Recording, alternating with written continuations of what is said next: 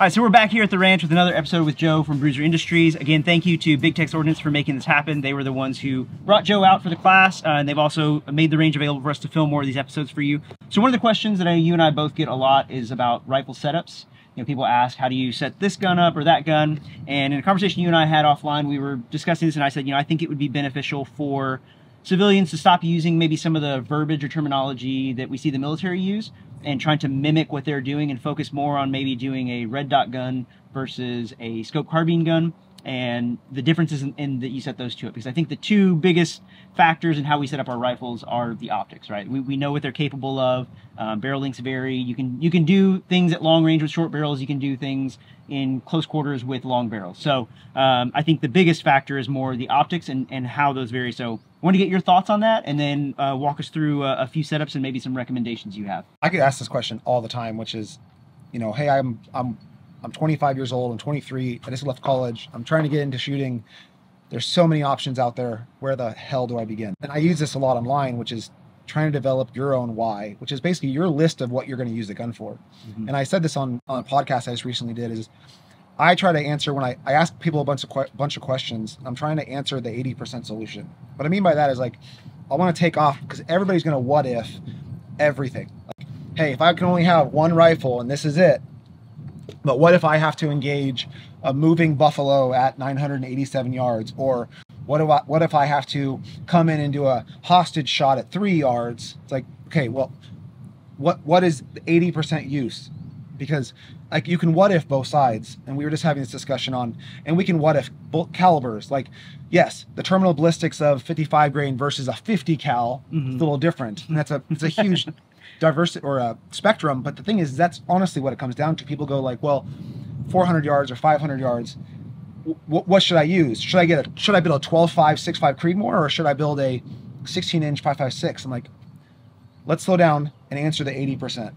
All these these terms, SPR, DMR, sniper, recce, whatever, is all based off of military contracts. Mm-hmm. And so the military f- establishes through after action reports that hey, we are we are missing a capability. Whether that is, hey, we've got an NSW, we have a 10.5 and a 14.5, and then the next gun we have is a 13.5 or a 16 inch 7.62 gun, which isn't really a DMR and it has an LCAN on it. And then our first sniper rifle is a 20 inch 308. So we're missing this recce type build where we still want to use magazine compatibility of 556 because that's what the other guys are running, but we want to have this extended capability. And so they, the NSW goes, hey, we're putting out a bid to the industry for a recce build, and this recce build has to meet these sets of requirements. Mm-hmm. So we're looking for between a 14.5 and a 17 inch barrel. We're looking for ammo to be this caliber, and we're looking for it to have this type of scope on it. And those companies go out to bid that recce contract. Mm-hmm. Third Mardiv needs to replace their M16s, and they want to get a 20 inch or an 18 inch free float with a low power variable optic for their, uh, you know, level one sniper guys. They're going to put out a DMR contract. All these terms come from the contracts and how they bid like the Mark 13, the Mark 20, the these are all specific contracts. The ASR, the Advanced Sniper Rifle. It's just a contract term. So you're not building a clone, you're building a clone of a contract. And that contract is then set by requirements based off of after action reports. And so everybody's trying to delineate their build. Like, hey, I want to build an SPR. What is an SPR? Well, if you want to go back and look at the contract, what the SPR contract was, you'll have your list stop mimicking the contract requirements because you don't have the same after action or requirements or suite of guns that you're trying to fill a niche in as whatever unit based that contract or started that contract. And so the filling the DMR role, the SPR role, the, the all these terms are all the same damn gun in the end, depending on what your varied use application is. And so that's the whole thing is like what, what's an SPR, what's a DMR, what's a recce gun? They're all the same damn gun. It's just different units fill different contracts with slightly different Yeah. requirements based off of what they had. Then walk us through what, what we have here and then how you would recommend uh, the average person at home set up their rifles, considerations they should make, uh, things to, to take into account as they're setting up for that 80% you mentioned. we have three different guns here. We have a red dot and a magnifier gun. We have kind of a run and gun type use, um, and we have more of like a DMR, SPR, whatever terminology you want to use, uh, rifle here. It comes down to type of shooting you're going to do, the distance you're going to do it at, and then weight becomes a consideration. And so the there's always a trade-off, and we actually don't have a uh, larger scope. We have two LPVOs here, but you gain magnification, but you gain weight. You lose magnification, and you also gain. Uh, it becomes more complicated the higher you get, versus like a red dot, super easy to mount. Mhm. And so, if you are going to something like, if we're starting at simple red dot, you take off the magnifier, remove that from your mind.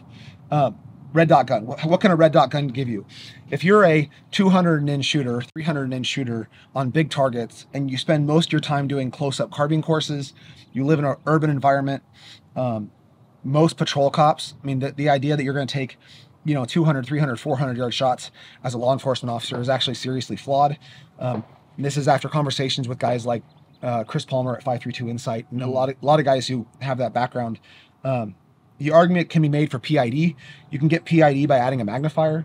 Uh, significantly more simple. You know, red Loctite, put some screws on, make sure it's torqued properly, index uh, or paint marker your mounting points. Like, there's not a whole lot to screw up on this. There's no scope levels. There's no nothing. And so, it's uh, if you're a close-up kind of fast type shooter, I mean, this is probably the simplest setup you're going to get. Mhm.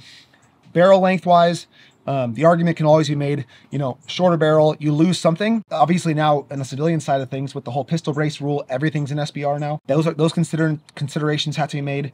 If you want something to be registered with the NFA, then you go sh- shorter than 13.9 or 14.5 with pinned and welded. Yeah. Um, but if you if that really is something that you don't feel like you can do CQB with a 16 inch gun, go Mhm. take a class because you don't know what you're doing. Because there's lots of Marines who have done lots of clearances and pushes through Fallujah with 20 inch M16s. I'm not saying you necessarily need to buy a 20 inch M16, but Yeah.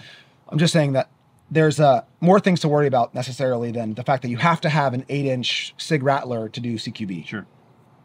So um, that's I I basically tend to tell people that about 400 yards is kind of my line of, line of demarcation between for most 556 guns where the holds become greater than you can probably like see naturally with the human eye or quickly Mhm. and so then something like a reticle kind of starts coming into play Yeah. and so if you're if you're a 300 inch shooter, dude, I, I tell people mag, mag, red dot and magnifier all day. Magnifier again uh, starts adding some complexity. People think they can just mount magnifiers and call it a day. Magnifiers still have an eye relief hmm and they have an ocular focus, Yep. and you have to collimate the magnifier to the red dot. hmm And so you always want to zero the red dot, make sure that's good, then flip the magnifier up, and then you- you're going to shoot. And a lot of people are going to have shift. hmm And that's what the adjustment screws on the magnifier are for, is to collimate between the magnifier and the red dot. Yeah. But still simpler, and you have, as long as you witness mark all your screws, witness mark the adjust the eye relief, Mhm. you should be good to go. And most mounts are really repeatable. The, scalability is a thing. You can then pull the magnifier off, reduce the weight. You can't pull half an LPVO off. Yeah. And so you, You can can in a remove that. pocket, throw in a bag. Yeah. As long as you have a witness card, mark, yeah. put it back in the same spot. Most of them are on lever mounts. Mhm. Put it back on. You're good to go. So basically 400 and in. Then we start getting into scope carbines. And so I get asked this question a lot, which is 45 versus 12 o'clock red dot, as like we have on this one. Um, there's considerations to be made on both. You'll see most three gun shooters tend to have them at 45. It puts the optics at the same optic height, Mhm. so you don't have to adjust cheek weld. Um, so a lot of guys like this. The thing I don't like personally, it's really hard. You can't do anything with uh, night vision. hmm Also, if you're shooting a lot of stuff like barricades and stuff, you're going to run that thing right up into the barricade. Mhm. And so I tend to put stuff at 12 o'clock, which then allows you to shoot passively with night vision. It keeps the side of your gun really clean. But if you're a up close and personal type shooter and you want to do more of that that canted style shooting, hmm um, it also can be used to limit exposure over the top of barricades, canting the gun, keeping your profile shorter, as opposed to exposing height over bore a lot more of the gun to Mhm. clear the barricade. Um, and you then have to adjust your cheek weld. Yeah. So that becomes a thing. Now, over this, you've now added significantly more weight, more screws you have to witness mark and, and keep track of. You still have an ocular focus, but now you have another optic to keep. Two zero, you have to worry about zeros. Are they the same? Are they different? What's the trajectory? Is scope levels? Um, all those things come into play. having a scope level, this one doesn't have one, um, is super important on anything that's magnified on a with a reticle, Mhm. especially at distance. One degree of cant can cause 10 inches of deviation at a thousand yards. So that becomes a really significant thing. Like if you start canting the gun, even one or two degrees, um, that's going to cause deviation in your impact. uh, Even at 500 or 600 yards, that are you going to blame it on wind? Is it going to be you? Is it shooter? Is it Mhm. positional? So that becomes really important. We have a regular non or adjustable buttstock here, no additional things. Light bipod, uh, pretty simple run and gun type Yeah. setup. And we move up from there to more of a DMR. And so again, the sacrifices then become stuff like weight and everything else. So we added this actually very similar setup, a one to 10 to a one to eight, ATACR and ATACR. This one's at 12 o'clock, but we start to add, you know, uh, things that can help us in a more precision type environment. Mhm. So this one's got Arca rail on it. It's got a bag rider and a and a little bit more uh, upgraded buttstock. So this one has a scope level on it.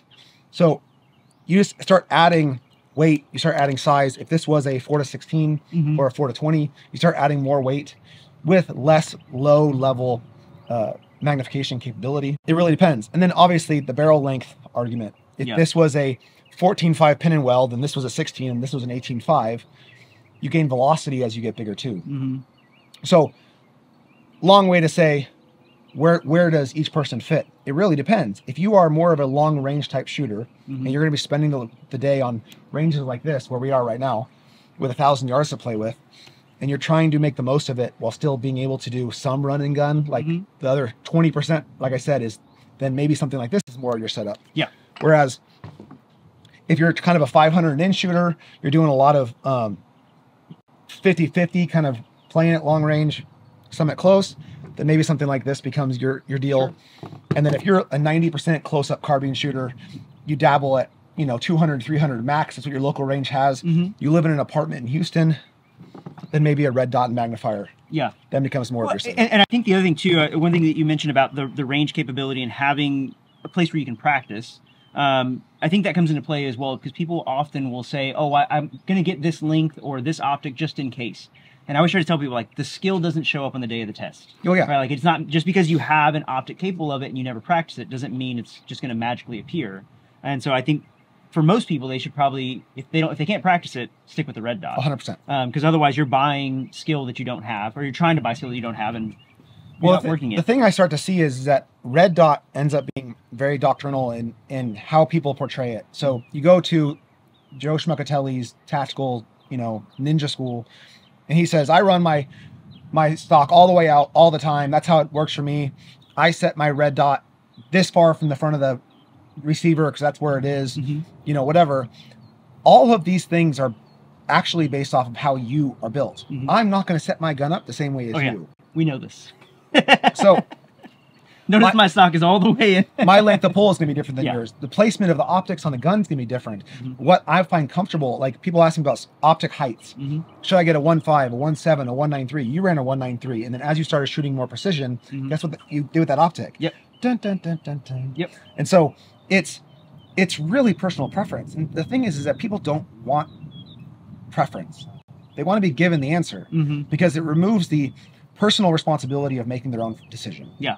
And so it's a hard thing, right? It's a hard thing to make your own choice. Um, and so it comes down to you have to identify what your reasons for application are, what you're trying to accomplish, and then pull up your big boy pants, pull out the credit card, and make your own decision. Yeah. Instead of just having like, hey, okay, Jimmy, tell me exactly how you set up your rifle because I mean that's great and this is a good setup, but Well, I, I think people are afraid of making the wrong decision, right? Because it is, it is expensive. Yep. Um, you know, there, there is a lot associated with it, and so for people, it's saving time and money. And they don't want to they don't want to make the wrong decision, spend money, and waste money. Um, but we've all done it, right? I It's, think- it's part of the learning process. the more people you listen to, then I think the more use cases and application you can then pull, Yeah. and then create that lens in which you can then make a more informed decision, not choosing somebody else's decision, yeah, using their lessons learned, yours, Taylor's, Mhm. you know, whoever's, and go, hey, De- developing your own why, like you were talking about earlier. Yeah. Bec- And so the the ownership when you purchase something then becomes then whether you want it to or not, goes back on you Mm-hmm. to then figure out if you spent your money wisely Yeah. and train to the point you understand it. Mm-hmm. And so you when you've spent the money, you, you can't pass that buck. You Yeah. spent it. And so whether you use somebody else's why for the wrong reasons, that's on you at that point. Yeah. And so that's why it's really important to listen to as many people as possible, figure out all that their lessons learned, Mhm. and see if that's something that will affect you or won't affect you. Uh, we've had the discussion on multiple different aspects of Yeah. where the light goes, where the bipod goes, what type of bipod. Mhm. Yeah, I know it's an expensive decision to buy a $200 bipod or $800 bipod or a $3,000 optic or a $1,000 optic or, or rifle choice, barrel Yeah. choice, suppressor choice. These are all expensive choices. Mm-hmm. At, and at the end of the day, though, whether you buy what I tell you to buy or you tell the somebody to buy, that's why I always a- answer questions with questions because there's more than one way to do any of this. Mhm. And it's it's use case specific. As much as any you know influencer on influencer on Instagram or YouTube gets paid you know thousands of dollars a month to go, this is the only way you could possibly do it. um, it's just not the case. yeah. And there's good ways. There's good optics. There's good solutions. Mm-hmm. Good scope mounts, triggers, bolt carrier groups. Doesn't matter. Every single one of them. There's lots of ways to skin that cat. Yeah. And in the end, it's on you to be an informed consumer, to use your money wisely, and uh, and determine your why. And if your why is, hey, I really want to build the exact gun that Gordon used in Black Hawk Down, Mhm. dude, more power to you. Go shoot your face off. Like go. And there's go nothing train. wrong with that. I mean, Absolutely not. Just don't don't try to mass it. Like just own it. Like hey, yeah, that's why I made it. It's because I thought it was cool. I want the exact, you know, six arc that Dam Neck runs, or I want to buy the 12.5 that, you know, Noveske that Dam Neck runs, or I want to build a Mark 12 Mod Zero. Awesome, man. Yeah. Go shoot it. Yeah. That you, we, we live in one of the only free countries on the planet that you can make those decisions. Mm-hmm. And so more power to you. Yeah. That's, but that's your why. Mm-hmm. Don't try to sell it that nobody else needs anything but what you purchased. Mm-hmm. Um, just own it and then enjoy the sport that we have to enjoy. Yeah, that's awesome. Um, one thing you did mention earlier that I wanted to touch on, uh, one of the questions you get a lot about is lights on uh, more DMR style rifles. Oh yeah. So uh, people ask me anymore, how do I feel about lights on longer precision type SPRs? This opinion has changed as lights have progressed. And basically, the old Surefire Scout lights of four years ago Yeah. did not give you the throw. Mhm. And so basically, what you do is the light goes 100 yards and then it shadows everything behind it. You Mhm. can't see anything. We've gotten all of the lights the Sure, Surefire turbos, the new ones, the Mhm. Modlites, the Modlite kind of set the tone for all this. Yeah. The clouds, Arisakas, they have this really tight focal spot Mhm. that now you can get two or three hundred yards of illumination. And so, especially from a law enforcement application, you know, shooting pigs, whatever, you can get illumination at hundreds of yards away for a good PID, low light conditions, whatever. It's like, well, they're just going to shoot at the light.